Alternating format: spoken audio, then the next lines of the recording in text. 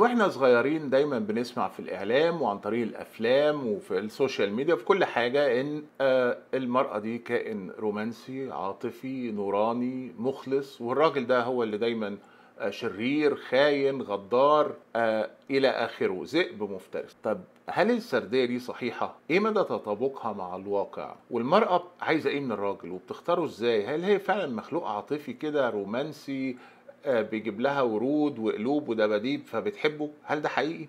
العالم البريطاني بريفولت وده جراح بريطاني مشهور جدا وعالم انثروبولوجي مات في الأربعينات من القرن اللي فات. حط لنا قانون اسمه قانون بريفولت. وقانون هنا بمعنى hypothesis وليس theory يعني أطروحة والأطروحة دايما بيستدل عليها بقرائن. يعني مش زي الماء يغلي عند 100 درجة لا ده موضوع تاني. ده يبقى theory الأطروحة دي بتقول إيه؟ أول جزء من الأطروحة دي إن المرأة وليس الرجل هي اللي بتحدد قوانين لعبة التزاوج. وده وضع طبيعي. إحنا قلنا قبل كده المرأة هي الحارسة على بوابة النوع. هي مندوب الطبيعة اللي بيحدد مين يتزاوج ويبقى له نسل ومين ما يبقالوش نسل. والقاعدة بتقول أو القانون بيقول إن المرأة لن تعمل association يعني تخالط الرجل إلا إذا كان ليها benefit مصلحة أو منفعة. وهنا منفعة مش مقصود بيها آه، فلوس. لا المنافع آه، أنواع. المرأة كائن مركب جدا وليه احتياجات معقدة جدا فهو ممكن تبقى الموارد المالية المكانة الاجتماعية اللي هتاخدها عن طريقه ال capacity of fatherhood يعني قدرته على إن هو يبقى أب ويرعى الأسرة. ممكن آه، الجينات لو هو وسيم أو شكله حلو عاوزة تستنسخ جيناته ويطلع أطفال شكله. كل دي اسمها benefit لغاية هنا متهيألي ده أمر مفهوم آه، لأي حد. ما أعتقدش إن في حد ممكن يختلف على ده. وإن كان طبعا آه، لازم تاخد بالك إن ده عكس السردية اللي المرأة نفسها بتطرحها. إن هي دايما لما بتيجي بتجيلك بتقول لك إنها حبيتك أو رضيت بيك أو ايا كان إن ده تفضل منها وده جدعنة وكرم منها إنما الحقيقة إن هو ده مش حقيقي. ان إحنا قلنا المرأة هي انعكاس لقيمتك مش آه لأفعالك. يعني آه هي لما بتقنعك إنها حبيتك عشان هي كريمة لأ هي حبيتك عشان هي محتاجة حاجة منك. عندك حاجة هتاخد منك حاجة. والسردية اللي دايما تقولها إن لو أنا سبتك مش هتلاقي واحد تاني تحبك زيه ده طبعا سردية فارغة. ليه؟ لأن زي ما هي عايزة منك حاجة غيرها هيبقى عايز منك نفس الحاجة اللي عندك. وده مفهوم اللي إحنا قلناه قبل كده إن المرأة انعكاس لقيمتك فالمرأة كائن واقعي برجماتي جدا في اختيار الذكر. بعد ما هي تختاره بواقعية بقى ممكن تبتدي مرحلة الرومانسية تحط الكريزة على التورتة. إنما عمر ما التورتة كلها هتبقى كريز نهائي. لازم يكون في تورتة وتورتة كويسة ومرضية وفي الآخر بقى هي تحط الكريزة بتاعة الرومانسية. إنما المرأة كائن مش رومانسي من البداية لأ هي عقلانية برجماتية مصلحجيه مفيش واحدة ابدا بتتباهى إن آه، آه، حبيبها بيجيب لها دباديب وقلوب أو بيعملها بحنية أو آه، حبيبها راجل طيب أو بتاع ربنا نهائي. كلهم بيتباهوا بمكانة اللي بيحبوهم الاجتماعية بوسامتهم. حتى لو مرغوب من الستات ده بتبقى ميزة بالنسبة لها إن هي الوحيدة اللي أخدته. لازم يكون في مصلحة ما هتاخدها منك. الجزء الثاني من القانون بقى هو اللي هيزعلك وهيصدمك وهيخليك تستغرب لأن هو بيقول المرأة متى استنفذت مصلحتها منك؟ أصبحت عديم القيمة بالنسبة لها. ومتى وعدتك بوعد مستقبلي في مقابل مصلحة ما هتاخدها؟ متى تحقق هذا الوعد؟ أصبحت أنت عديم القيمة بالنسبة لها وإن مهما أنت اديتها في الماضي أو استثمرت فيها في الماضي كل ده لا يعنيها بشيء متى انتفت المصلحة منك واستنفذتك.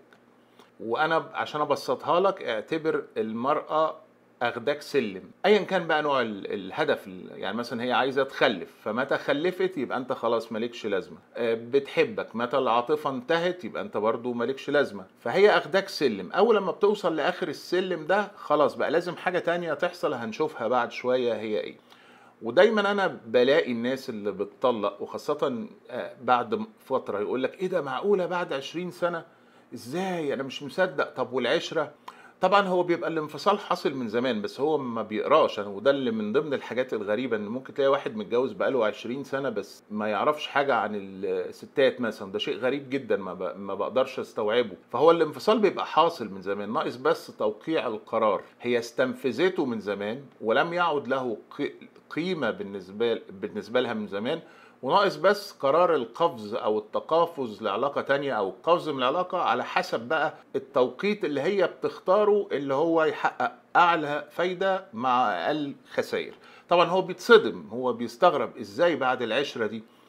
يمكن لو حبيت أشبهها لك بتشبيه بسيط اعتبر إن المرأة RAM يعني مش زي ال hard disk لا هي زي ال RAM تشد الفيشة كله طار. وزي ما إحنا قلنا ده هايبوثيسز يعني أطروحة. وإحنا قلنا في الحلقة اللي فاتت أي أطروحة بتطرح هنا أو في غير هنا انت عندك القدرة إن انت تطبقها بالواقع. لو لقيتها متماشية مع اللي انت بتشوفه حواليك خلاص يبقى صح خد بيها. لو لقيتها مش متماشية يبقى ده كلام غلط. لكن دايما الصدمة بتيجي لل... من اللي أنا شفته يعني سواء أصدقاء أو غير أصدقاء إزاي يعني؟ وتلاقيه يقول لك إن ساعة الطلاق لقيت في المحكمة واحدة تانية خالص قدامي غير اللي أعرفها. هي الحقيقة آه هي ما عادتش محتاجاك فأنت بتشوف ال... الوجه الحقيقي بدون قناع. الوجه الآخر ليها لما المصلحة بتنتفي. ولو دققت في الأغاني العاطفية هتلاقي دايما يعني قطاع كبير من الأغاني اللي بتعبر عن الراجل هو دايما بيتكلم عن فكرة الخيانة. إزاي بعد كل ده بعد كل الحب ده إزاي تقفزت أو قفزت من العلاقة بالشكل ده؟ مش قادر يستوعبها بيبقى صعب على الراجل الاستيعاب ده لأن هو ما يعرفش الطبيعة دي في المرأة. على الوجه الآخر الأغاني اللي بتعبر عن لسان حل المرأة بتتكلم عن إن هي عندها كراش عليه وهو مش معبرها أو هو اللي سابها فهي لسه ما ما استنفذتش اللي هي عاوزاه ما وصلتش لآخر السلم يا حرام. فهي عمالة تعيط على كده. دقق كده بص حواليك وأنت هتشوف إذا كان الكلام اللي أنا الاستنتاج اللي أنا بقوله ده ممكن يبقى دقيق ولا غير دقيق وتبقى قول لي في التعليقات لقيت إيه. طبعا الكلام ده لأي حد يعني مش familiar بعالم المرأة هيبقى كلام صادم. ودايما السردية التقدمية اللي هتسمعها وخاصة على ال social media وفي الإعلام حاليا إن الفروقات مش بين راجل وست مفيش فرق بين هما الاثنين واحد الفرق بين شخص وشخص مش جنس وجنس. طبعا ده كلام لا هو مطابق للواقع ولا للعلم ولا للسيكولوجي ولا لأي حاجة. في اختلافات جذرية بين الجنسين وإزاي تكونوا. وحتى في كتاب بسيط قوي يعني كتاب مش فلسفي يعني اسمه رجال من المريخ ونساء من الزهرة. واحد من المريخ أو التاني من الزهرة يعني مش فاكر كنت قريته زمان. وده كتاب سهل وبسيط ما فيهوش يعني عواصل اللي بيحب يقرأ. فهم جنسين مختلفين في في طريقة رؤيتهم للأشياء وفي طريقة آه تعاطيهم مع الأمور وهو ده اللي يمكن اللي بيخلق الصراع ما بينهم دايما. بس هنا في سؤال مشروع هيطرح نفسه. طب ما واحد هيقول لي طب ما إحنا أهالينا كانوا بيستمروا للأبد وما ما بيحصلش التقافز أو القفز من العلاقة ده. طب إيه اللي اتغير يعني؟ إشمعنى؟ طيب أول حاجة لازم تعرفها إن الضوابط الضوابط الاجتماعية الضوابط الدينية المرأة لو ما فيش ضوابط تشكمها هتشوف طبيعة المرأة على حقيقة. أنا عارف إن ده كلام صعب بس هي دي ده الحقيقة. أنا ما عنديش وقت أفلط لك الأمور أو أفلط لك الأمور. هي كده خدها في وشك.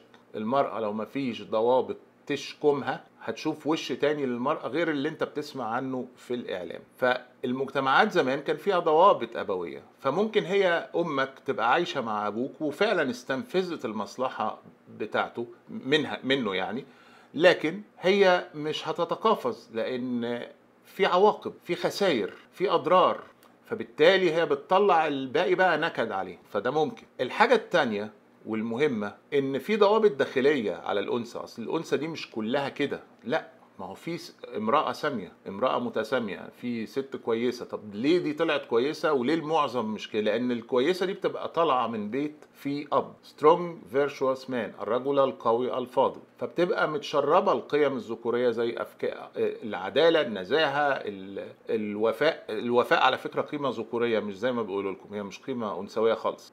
فالقيم دي هي بتبقى متشرباها من الأب. فبالتالي بيبقى عندها ضوابط داخلية تخليها تقدر تظبط الغريزة غريزة التقافز دي اللي اتكلمنا عنها بالتفصيل في الحلقة بتاعة الغيرة الجنسية. حتى لو ما فيش ضوابط داخلية أو ضوابط مجتمعية في حسابات المكسب والخسارة.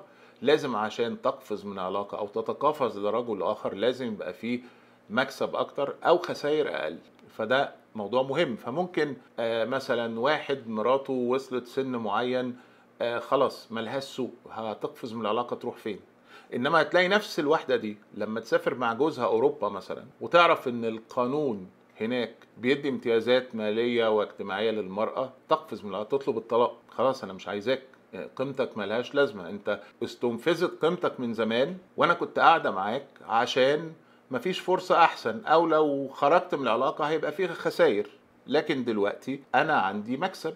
فبالتالي بتقفز من العلاقة. ولو افترضنا اللي أنا قلته صحيح إن الأب صورة الأب في البيت مهمة جدا في تكوين الأنثى وفي سلوكها الجنسي وسلوكها ناحية الذكور فبالتأكيد نقدر نستنتج إن في العصر اللي إحنا عايشينه النسوي ده الأجيال الجديدة عشان كده بتطلع الرجالة أكثر ضعفا والستات أكثر انحلالا. لأن مفيش father figure القيم دي بتاعة ال strong virtuous man بتختفي. وده طبعا فعل فعل واتكلمنا عن ده في حلقات قبل كده فمش هنعيده. وهتلاحظ للغرابة رغم كل التقدم والتقدمية والسرعة بتاعة الحياة والادعاءات بتاعة الحقوق إنما إحنا حقيقي بنرتد العصر بدائي. الإنسان بيرتد إلى طبيعته البدائية وبيتحرر من كل حاجة عشان يتحول لمستهلك يخدم مصلحة الناس اللي هم اللي في ورا الخلفية في الستار.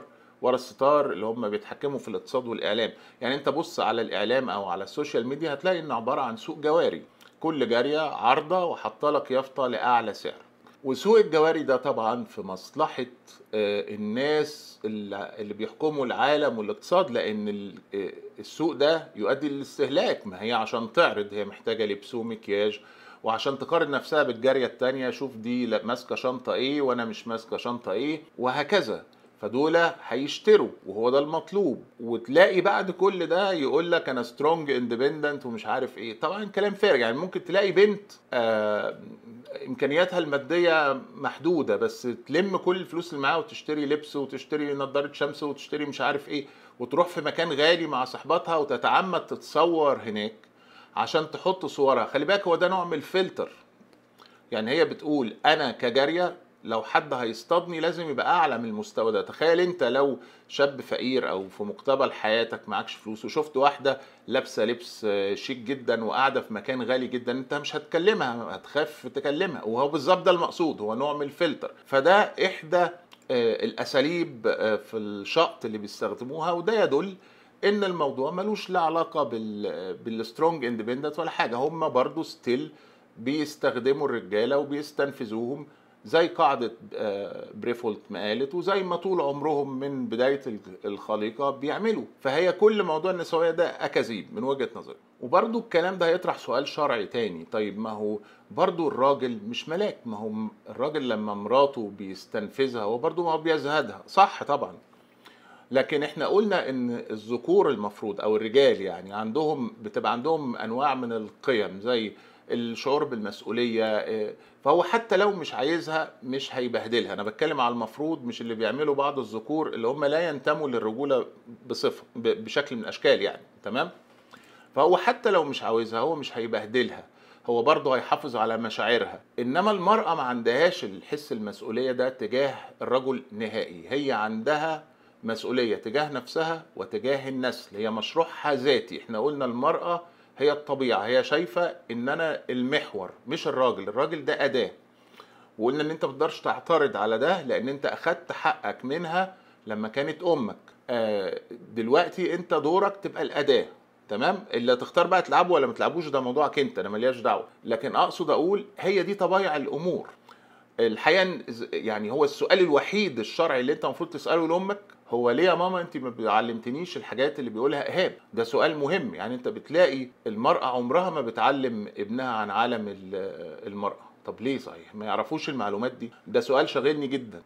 ولا هم عارفين بس هم عندهم غريزة الحفظ الأسرار دي؟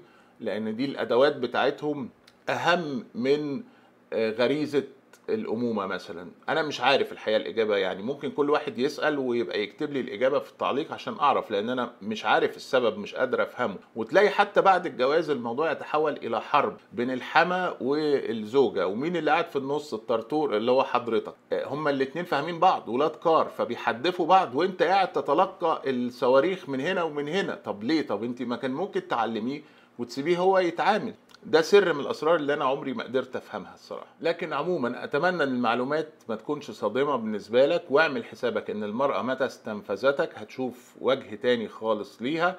ممكن تلاقيها بتطلع أسرارك بره بتسمع صحابها رسايلك ويقعدوا يسخروا منك بعد ما أنت كنت حاجة عظيمة أو كبيرة بالنسبة لها. لو أنت مثلا واقف قصادها في المحكمة هتلاقي كائن تاني خالص غير اللي أنت تعرفه. ما تستغربش هذه هي طبايع الأمور. دي سنة الحياة. كل الحكاية إن أنت ما كنتش تعرف. دلوقتي مفروض إن أنت عرفت أو على الأقل أدعي إن أنا عرفتك. برضو في الأخير عاوزين نقول إن الحلقات دي مش هدفها كراهية النساء. قلنا الكراهية ضعف والضعف يتنافى مع الرجولة. إحنا الهدف إن إحنا بنعلمك عن هذا الكائن عشان تتفادى إن أنت تلبس في العمود. فالإخوة السنبات اللي ممكن أنا بشوفهم مع بتوع الريد بيل بيجي لهم بواسير بيقعدوا ي... أنت أكتر واحد محتاج المحتوى ده على فكرة. اللي زيي أنا عارفه مش محتاجه وأنا كل اللي بيحصل ده مش فارق معايا خالص على فكرة.